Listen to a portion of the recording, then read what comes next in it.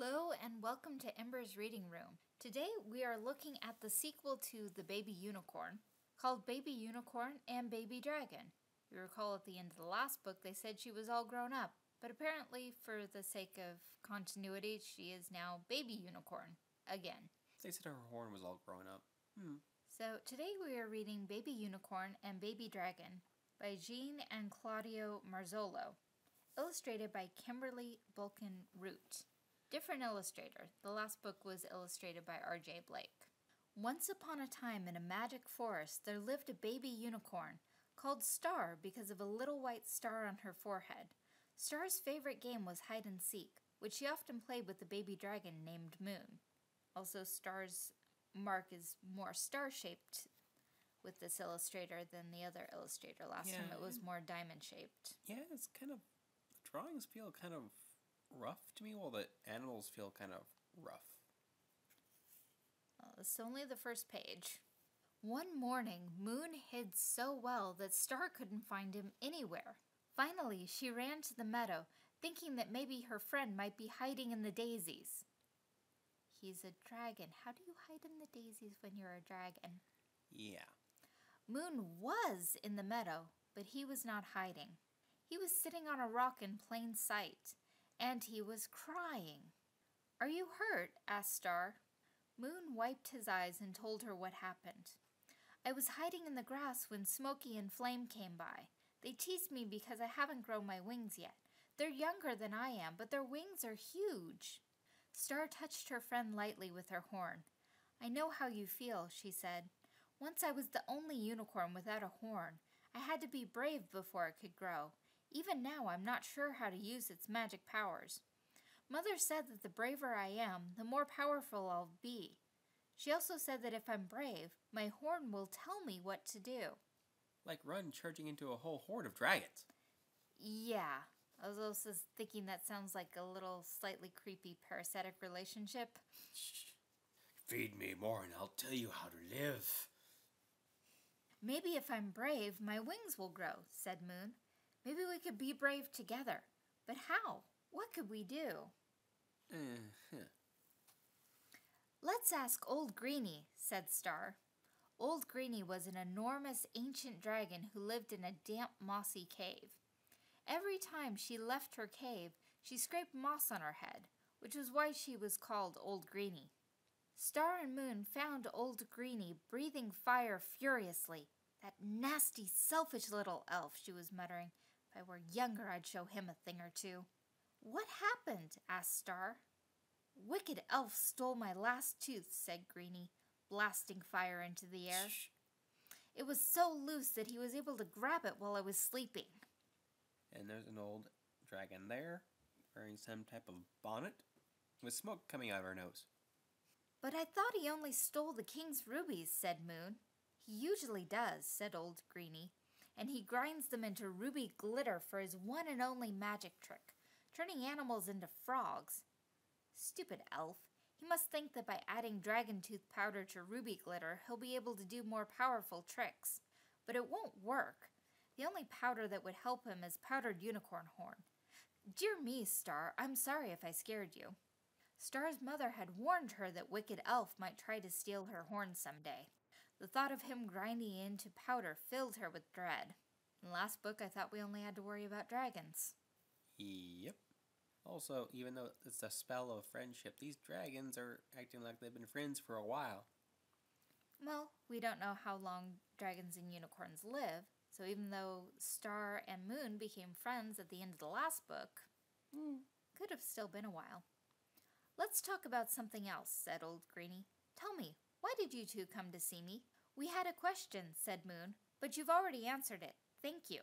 With that, Moon turned and ran down the path to Wicked Elf's castle. If he has a castle and we know where it is, why are not all the dragons and the unicorns ganging up on him? Hmm. Stop, stop, called Star, chasing after him. What are you doing? I'm going to be brave and get old Greenie's tooth back, he yelled. You can't do that, shouted Star.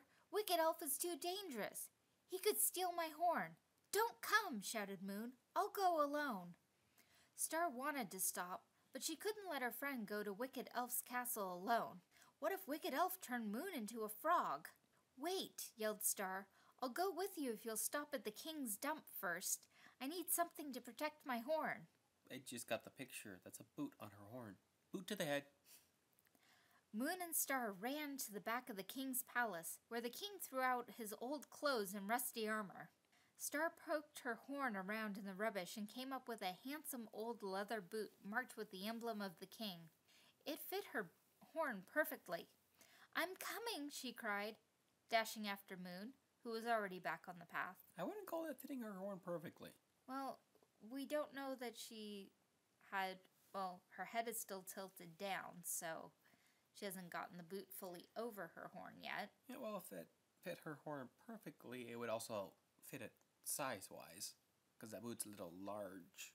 Yes, well, I don't think anyone would have a boot the width of a unicorn's horn. Yeah, because your, your leg wouldn't fit in that.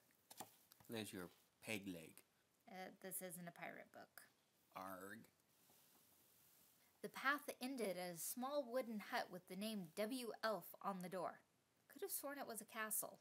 Did it not just two pages ago say Wicked Elf's Castle? I think so. I think they were getting two scenes mixed up. Not very fancy, is it? whispered Star. She ducked behind a bush and held still as Wicked Elf came out. He was holding an empty cloth sack. Grand Hall this morning, he said, walking past Star and Moon without seeing them. This afternoon I'll steal some rubies, come back to eat supper, and then grind up that old dragon's tooth. Fill in exposition, check. Yeah, they have a tendency to do that apparently when the heroes are around, or when they're facing the heroes and go, I'm going to tell you what my plan was the entire time. Star and Moon waited until he was out of sight. Then they crept up to the strange little hut and pushed open the door. Inside there was nothing but a dusty, dirty floor. Some castle, said Moon. They just did that again. Wait, my horn is tingling, said Star, dropping her boot. She tapped the ground with her horn in several places.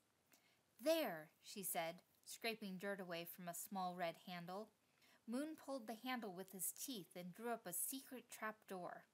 Through the opening, Star and Moon saw an underground storeroom filled with piles of rubies. Then why do you need to go steal more? Yeah. Sitting on the nearest pile was Old Greeny's tooth. Yep. A unicorn with a boot on its horn. Interesting images in this book. I really wish you could see, but, you know, fair use and all. Watch how brave I am now, said Moon, squeezing through the hole. He grabbed the tooth and climbed back out of the hole. But as he did that, a cloud of pink glitter fell upon him. Star tried to brush it off with her horn, but it stuck to Moon and to her horn, too. Put your boot on, said Moon. This glitter could be dangerous. Then how does the boot help? As soon as we get home, we'll wash it off. Moon raced down the path, and Star ran after him. She had a hard time keeping up. Moon, stop, she finally cried. The boot is too heavy and my legs feel weak. I have to rest. We can't stop, said Moon. Hey, what are you doing? Star flipped the boot into a bush and collapsed under a tree by the side of the path. Within seconds, she was sound asleep.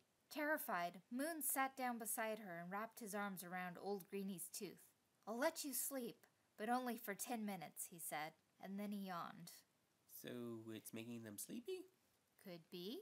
Though, where did a powder come from to make them sleepy? Because we've already been told that the ruby powder can only turn creatures into frogs. Hmm. Next page. Also, if she had to rest and the boot was to protect her horn, if she's laying on the ground, the boot wouldn't be too heavy because the boot would be touching the ground. Mm-hmm. Time passed. Star dreamed something was wrong and woke up. Where was she? Why did her head feel funny? Moon, she cried, wake up! Moon jumped to his feet and shouted, What happened? Immediately he knew the worst had happened. Old Greeny's tooth was gone, and so was Star's horn. Wicked Elf stole my horn while I was sleeping, cried Star. Now I have no magic. What will we do? No matter how brave he wanted to be, Moon couldn't stop big, hot dragon tears from running down his cheeks. Don't cry, said Star. We may not have magic, but we have our brains, and, she added, looking into the bushes, one leather boot. Why is that boot floating? Is it more in the paragraph here? It's not floating. look at the image. It's caught on something. Ah. Star set the boot in the middle of the path and said, I have an idea. It's supper time. Wicked Elf should be coming along that path any minute. Let's hide and watch what he does when he sees the king's boot. Star and Moon waited, and sure enough, soon Wicked Elf appeared, bent under a full sack. One side had something sharp and pointy sticking out of it. My horn, whispered Star. The other side had something tooth shaped sticking out of it. Old Greeny's tooth, whispered Moon. Look! Wicked Elf stopped at the boot. Noticing how handsome it was, he picked it up and stroked the emblem of the king. This must be my lucky day, he said greedily. A dragon's tooth, a unicorn's horn, and now a king's boot. But where's the other one? Wicked Elf looked around. I can't wear just one boot, he said, throwing down the boot and going on his way. After he'd gone, Star said, Moon, take the boot and run through the forest until you're ahead of Wicked Elf. Put the boot in the path so he'll find it again. Wicked Elf will think it's the other boot. If he's as greedy as I think he is, he'll put down his sack and come back to find the first boot. When he does, grab his sack and bring it back to me. Good plan, said Moon, feeling wonderfully brave again. Why would he put the sack down to get the boot? I don't know. Also, I guess this was before boots had left and right sides. Apparently. Moon ran through the trees quickly and quietly, making a wide circle so that Wicked Elf didn't see or hear him. Moon set the boot on the path ahead of Wicked Elf, hid in the trees, and watched. When Wicked Elf came up the path, he saw the boot and shouted, There's the other boot! Oh, good! Now I'll have to go back and get the first one. But I'm not carrying this heavy sack with me. Why not? It's much more valuable than the boot. Yeah. Wicked Elf hid his sack behind a tree and started back down the path. When he was out of sight, Moon picked up the sack and ran through the forest to the place where Star was waiting. I have an answer for that question you just asked. Plot convenience. Also, why take the whole sack? You only need the horn and the tooth. Wouldn't it be easier to steal something from the sack rather than stealing the entire bag? Hmm. Because also, he might not notice at first that things were missing from the bag, but he's definitely going to notice that the bag is missing. Yeah, you can also put two sticks in there to make it look like those things are still there. Exactly. Well, they're being brave, not smart. But Star was not there. Instead, Wicked Elf sat on a rock and grinned. In his hand, he dangled the little pink frog with a star on his forehead. Moon was so scared he started to cry again. Bring me my sack, you sniveling little dragon baby, said Wicked Elf, or I'll turn you into another pink frog for dessert. How does the Wicked Elf know that any of that happened? What? That, well, unless Moon ran out where Wicked Elf could see him, how does Wicked Elf know that he should be using Star as bait against Moon to get his sack back? Hmm. Good point. You can have your sack, said Moon, but not until you change that frog back into Star. Also, how does he know for sure that it's Star, other than it has a star on its forehead? His strong words helped him stop crying and gave him an idea. Moon started to cry again, but this time he was faking. The more Moon cried, the more Wicked Elf laughed. Wicked Elf laughed so hard that he didn't notice Moon slip his hand into the sack and grab Star's horn. But Star noticed. With a sudden wiggle and twist, she burst out of Wicked Elf's grasp and hopped over to Moon. Quick as can be, he touched the horn to her forehead, and Star became a unicorn again. Wicked Elf was furious. I'll turn you both into frogs, he cried. He grabbed a handful of pink glitter from his pocket and threw it in the air. Star flashed her horn at the glitter and made it disappear. I don't think so, she said. My horn is telling me that I can turn you into a snail if I want to. How convenient. Quite. I didn't know turning a wicked elf into a snail was a common unicorn horn spell. Apparently. Also, that is a nice image there. Yes, very nice. Star reared up on her hind legs, a uh, cloud of pink glitter, and Wicked Elf rearing back. Yeah, like, don't turn me into a snail. How about a frog? I turn everyone else into frogs. Maybe it's okay. Wicked Elf stamped his feet. I'll get back at you, he shouted. Or a worm, said Star, taking a step closer to him. Keep your old dragon's too, said Wicked Elf, running away. And as for the rubies, I have more at home. Uh huh. Like we said, why did you go out in the first place? Star and Moon laughed with relief as they watched him disappear from sight. But after a while, Moon stopped laughing and looked very sad. What's the matter? asked Star. You have more power than ever. Because you were brave, said Moon. But I don't have wings because I'm not brave. I cry too much. But you were very brave, said Star. If you hadn't put my horn back on my head, I'd be in Wicked Elf's stomach right now. Disturbing thought. Yeah. Also, if he wanted something to eat, since he implied that he eats the frogs, why turn the forest creatures into frogs? The unicorn was much larger than a frog. Good point there. Little depressing point, but hey. Yeah. Suddenly, Star noticed little things like leaves growing out of Moon's shoulders. Moon, I think you are growing wings after all. Can you feel them? Moon couldn't believe what Star was saying. Yet he did feel something tickling his shoulder blades, and when he wiggled certain muscles, his body seemed to lift from the ground. That's it, cried Star. Keep flapping and you'll fly. Why are my wings growing even though I couldn't stop crying? Because crying has nothing to do with bravery, said Star. You can cry and be brave at the same time. The more Moon flapped, the more his wings grew and the higher he rose from the ground. Take old Greeny's tooth back to her, called Star, tossing him Wicked Elf's sack, which contains stolen rubies, which now makes you guys thieves. And from the king, who we don't know if he is good or wicked, but since Wicked Elf is stealing from him, Yeah. Star ran through the woods and reached Old Greeny's cave just in time to see Moon landing, first on a tree, and then in some blueberry bushes. Old Greeny watched her tooth pop out of the sack. Opening her mouth wide, she caught the tooth in midair and flashed everyone a hot, happy grin. Star was happy too, for many reasons. She had helped Old Greeny get her tooth back, she had watched her best friend grow wings, and she had learned more about her magical horn.